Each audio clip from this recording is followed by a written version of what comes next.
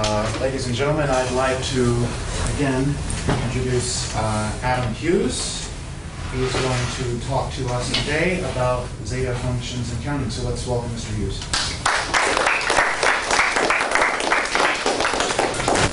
Number one tip for surviving graduate school don't let the professors smell fear when you enter there, they'll just tend to attack.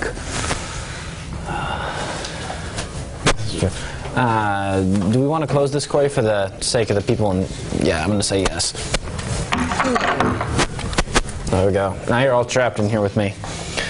All right, so there's a classic sort of problem that you might ask yourself if you're a number theorist or if you're just a math person in general who likes the interesting bits within math itself. That's what number theory is about. It's not about finding all the things in the world where you can find math. It's about finding beauty in the math itself. And one of the things that people tend to like is things like, you know, determine the number of ways to write an integer n as the sum of two squares. It's not a g, it's a y. I'm just bad at writing. Right? Certainly not all numbers are the expressible as the sum of two squares. Um, we don't necessarily know that yet, but we will in a minute. I mean, you could also just say, you know, the number three, but, you know, we're going to pretend like we don't know any actual numbers. Um, so if you, if we have some notation, we can, you know, denote by R2 of n. This is the number of ways to write n as a sum of two squares. Fancy set notation, it does this. Right? And so, in general, this is a very hard question to figure out what R2 of n actually is equal to right? Um, in, in the typical number theory approach to this problem is to say, all right, I don't understand this as a function point by point. It's not like, uh, I mean, well, it's sort of like, yeah, it's, it's sort of like the sine function, right? I mean, in theory, you have a convergent series for sine that you all learn in calculus, but knowing the exact value of sine for a randomly chosen point is a very difficult thing. Most of the time, we don't have a way of knowing exactly. But we know sort of how sine behaves on average and some of its interesting properties, which is something we explore towards getting a better understanding of this function.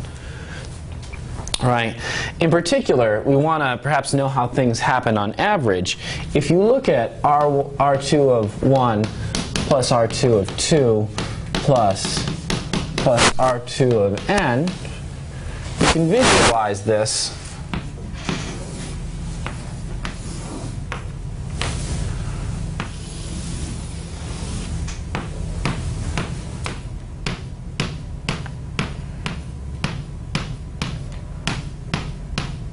And so on and so forth in all the columns as looking at the number of lattice points inside some circle of radius, say, r.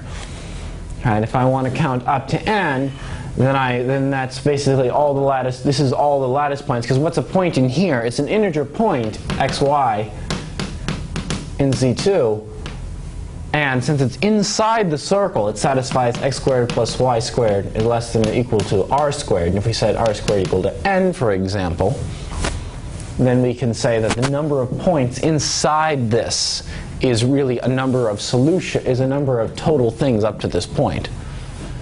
Right, so this is a very fruitful way. Instead of looking at equals, we can look at less than or equals, and somehow this becomes easier as terms of a question to study. In particular, you can we can write sum i equals 1 to n r2 of i is equal to number of solutions to x squared plus y squared less than or equal to n in z2. Everyone familiar with the z notation for integers? I say, I would talk, you guys, are the, you guys are the super math people. All right. Um, with then, you know, at this point, you want to say, okay, how can we figure this out? Well, in calculus, you learn something which a lot of mathematicians, I think, or at least early in their careers when they first take calculus, ignore. Um, when you first do derivatives and antiderivatives, in particular antiderivatives, most of the time you see the fundamental theorem of calculus and you immediately say, oh great, you know, why do we bother with these stupid rectangles and stuff, right? Uh, but the rectangular, the rectangular approximation methods, first of all, are very important for theory when you get into math later on, and also can come, come into a lot of help in this case. If I draw, do squares here,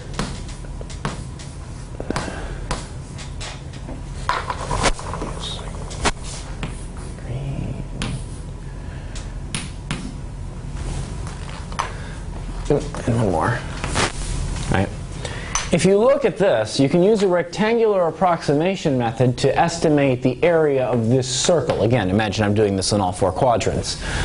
Uh, and you can note that each lattice point, if I look at the upper right corner, that corresponds uniquely to a specific, like this corner here corresponds to this square.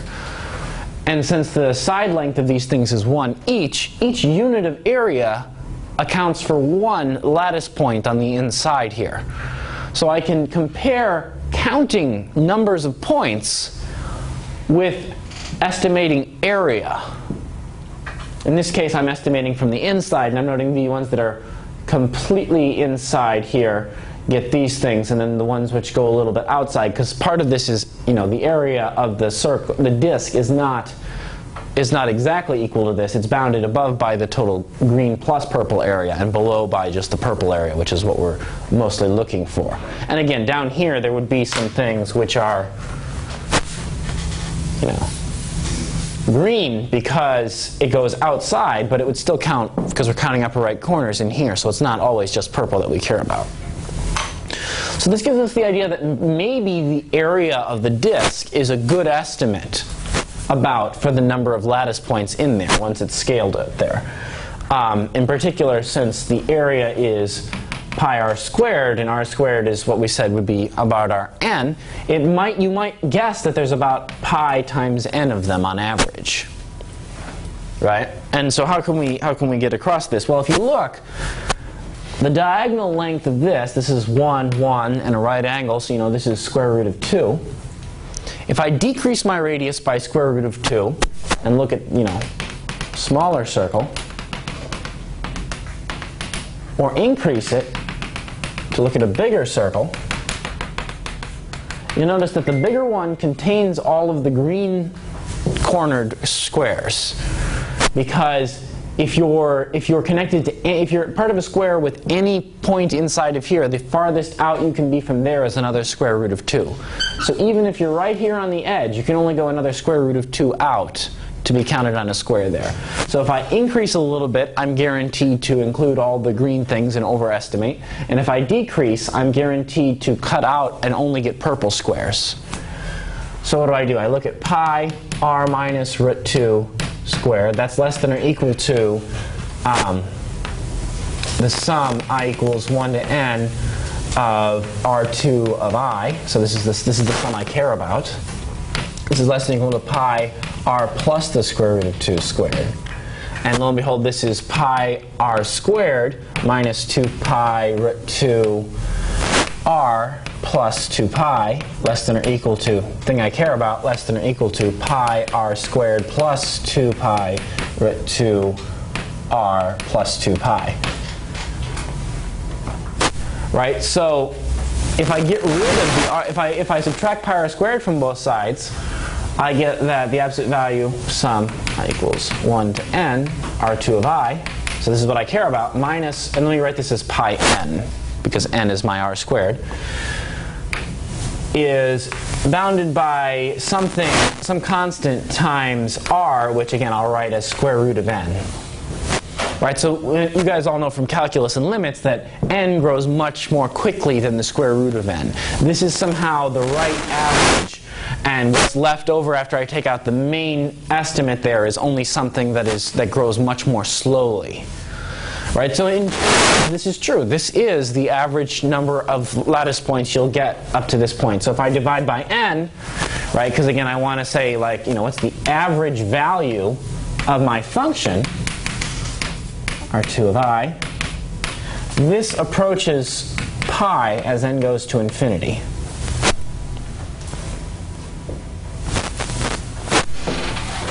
Now, interesting corollary Let's look at the, let's look, so R2 of i is the number of ways to write something as sum of squares, right?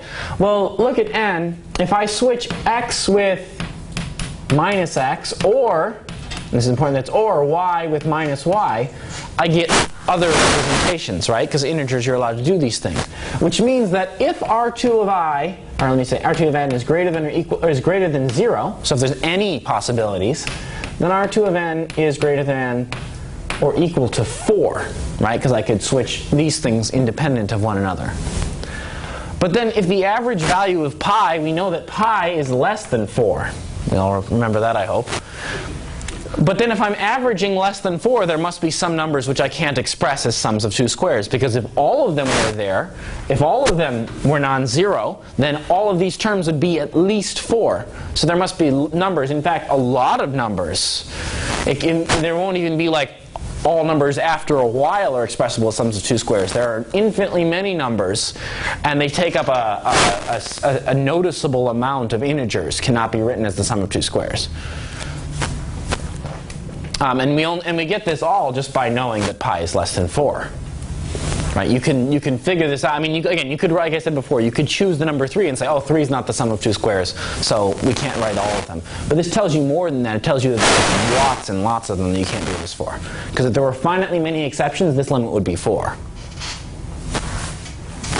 Right, so this is some of the this is some of the general ethics or ethos, I suppose. It's not really ethics. Eh, it's really the ethos of number theory is that you have really hard questions that are hard to answer using algebraic methods or direct observation of the function.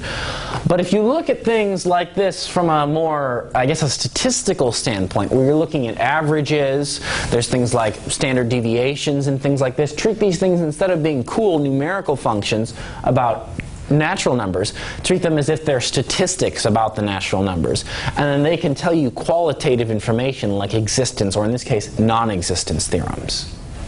And you do that just by doing things again. I, I really like this approach because it's very, it has a nice geometric flavor to it. It has a little bit of analysis flavor to it. And of course, it starts off with a very simple algebraic flavor to it. Um, in fact, the problem is so algebraic in nature that when you delve deeper into the algebraic side there, you can use this result to tell you interesting things about algebraic things. Oh, and, I have a question. Yeah. Sorry if this is kind of stupid, but um, so you know n is an integer, right? Yeah. So like, I mean, so how, how do you know that all the lattice points matter? Because not all the lattice points are going to get hit if you take a radius that's an integer, right? Or maybe I'm. No, yeah, yeah, I see what your question is. So, yeah, you're right. I'm not going to I'm not going to land on these lattice points all the time there. But I mean, the the point the point is really to add. I mean, if say n is five, right? Then maybe r is 5 plus, I don't know, square root of 2 over 2. Right? That's not a big deal. I just only count up to 5. Right? So if this thing's a little bit farther, that's not really a problem. The reason I choose specifically to let R be things besides just integers there is that when you do this sort of limiting process, you want to you want to be able to subtract them because it doesn't really matter if the circle is a little bit bigger or not. By the, the point is that if I it, it, once I go another square root of two, I'll probably I'll hit another integer lattice point anyway. It's an approximation. Yeah, yeah, exactly. It doesn't need to be. That's one of the nice bits about it. It doesn't have to be an integer because integers are sort of you know you, you, they they happen at regular intervals, in fact, intervals of one. Mm-hmm. No, that, that's a good question. That's one of the, I think, one of the, another things I guess I should uh, espouse about analytic number th- approaches to number theory is that when you do things this way, you get to use all the power of things you learn in calculus or real analysis or many times complex analysis to deal with problems about integers, which are much more discrete objects, which are I think most students get introduced to as an algebraic object first. The, the, that's one of the beautiful things I think about number theory as a subject. You're not really limited by the same things you would be in a lot of other areas. You can, you can freely move between algebra and analysis and things make sense still because you don't have to worry about weird contexts like, you know, does this PDE I'm dealing with have to deal with, you know, this particular kind of water I'm applying it to. Um, I'm not I'm not overtly slanting PDEs. I'm just saying this is this is a practical concern you have to deal with in them, in which you don't. Um, all right, so there's our classic problem, and there's sort of our our, our interesting bit about averages. So now how does this relate to other things? The progress, and I'm still bitter. Um, but suffice to say, that's a, that's a really smart idea because this is about, right, taking something you don't know, connecting it to something you do know, and doing the thing you do know until you get results in the thing you don't know in general, calculus is a, and analysis is a well-studied thing because of the continuum nature of the points, because of the you know the completeness in a lot of spaces you deal with. You can take limits and do all these intricate analyses with integrals or integral estimates, and you can usually use that to figure out values of things like this residue. Like again, this is a limit of a function times another function right? S minus 1, obviously, but you can like you can actually compute values and make a table like they made you do on the first day of calculus, because unlike all the other calculus problems we gave you, this one doesn't have a simple, easy solution. But you, you need to numerically estimate it. But that for once, that numerical estimate is very useful because it tells you what you can expect on average. Uh, oftentimes, you can use this for computing like percentage of the time things work and other related things. Uh, the one First, so now I'm going to explain uh, why I cared about this limit being 1 before.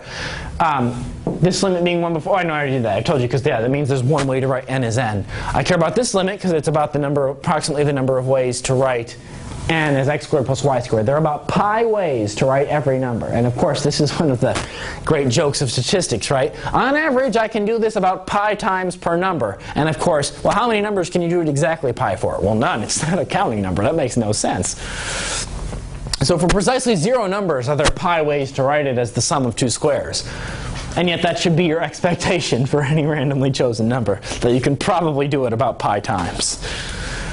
Um, if you demand, for example, that these things be relatively prime, so like instead, I can't put 2 and 4 in there, I'd have to do like 2 and 3, you'll actually get a factor involved like 6 over pi squared, which is zeta of 2 for those of you, oh sorry, not s, zeta, the Riemann zeta function of 2. This relative primality has to do with this number here. Um, and you can do a lot more intricate analyses by tweaking the function r2 of n to be a different choice of function. And it's a very interesting idea. Uh, this analysis sort of goes through in general. But why now? Why the minus one? And this is where the this is where I, I, I, pander to the algebraists in the audience. I'm sort of a universalist as a as a number theorist. I do many many different areas of mathematics, probably more than most in terms of interaction. Um, I hesitate to say more than any because that's a universal statement, and as a mathematician, right, you make sure you got to be careful about those. Um, but uh, if you look at things of the form a plus bi, which are in what I call z adjoin i. Those of you don't know, this is in it. So this is the set uh, x plus y i. x and y are integers, right? If you treated my plane from before as c instead of r2, you could treat these as points in the plane. It turns out that this is a very interesting object algebraists called a ring, um, again, I don't know what your guys' background is, so if I'm being pedantic, I apologize. But um, if, if you look in rings that are this and like this, there's a function called a norm on them, and the norm of a plus bi is actually a squared plus b squared. And since this is associated, so the minus 1 has to do with the fact that i squared equals minus 1. Right, if I were to write zeta um, minus 3, then I would be dealing with something that has to do with the fact that um, 1 plus the square root of minus 3 over 2 cubed equals 1. This is a fourth root of 1. This is a third root of 1 you guys learned about these, I, I think, back in like pre-calculus when you did basic complex numbers. Uh, minus 3 is sort of special. But you, deal, you can deal with a lot of different things like this and you index them like this. They're things which, when you look at part of them at least, they square to the number down here. Uh, for those of you who were uh, at my last talk, I talked about quadratic reciprocity. You can actually use quadratic reciprocity to uh, find out that you can connect R2 of n and write it as the sum of this thing. I, oh no, again, this is this is the part of the talk where I get to talk about really weird things. Chi, uh, let's see, d divides n, d 4, It's called a quadratic character modulo 4. Um, and you can actually write the number of squares as a sum of plus and 1s, depending upon the primes that divide n and what they are, modulo 1, uh, sorry, modulo 4, and modulo all and mod, and yeah, but yeah, all the modulo 4. So you can not only un, so using this connection here, you can understand how this quadratic character behaves on average. It's related to something called an L function. You can figure out approximate you can actually figure out from this that if you look at n as 2 to the k times p1 to the e1 pk to the ek Uh, Q1 to the 2F1, QJ to the 2FJ, and that shouldn't be a K, that should, because I already used K. Actually, let me change this to an N. No, not an N, uh, M. There we go. That if all the QI are congruent to 3 mod 4, and the PI can be congruent to 1 mod 4, and 2 is 2, if this is the prime factorization, you can write it as a sum of two squares, and this can tell you about, and this, and that you can find that out based on the behavior of this character. Um, these again, these are these are more these are more advanced techniques. This is the main thrust of things there, but this is sort of to give you a flavor of how you can talk about things which are squares modulo p for a different primes, so as you who know modular arithmetic. And suddenly we have all this analysis work we've done having repercussions in terms of modular arithmetic, in terms of basic group theory, in terms of this, in terms of rings, and this is associated to fields. Um, there are, this is a very flexible approach for connecting heavy analysis to, to very heavy algebra, especially those of you who know the, the sort of right way to phrase quadratic reciprocity, which is an enormously deep fact. Um, so that's, that's, that's sort of the, that's, that's the main gist of my presentation. Are there questions?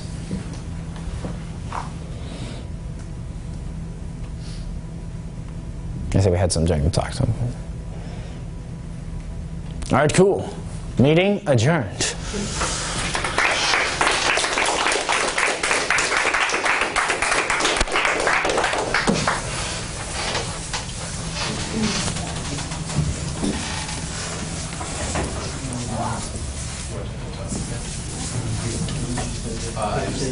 Um, the Kaisa 4 there was just any fourth, um, just any character of Sigma 4 star?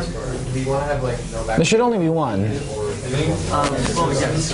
Okay, wait, so, so that would say that, um, you had that R2 was, um, so you had that R2 was the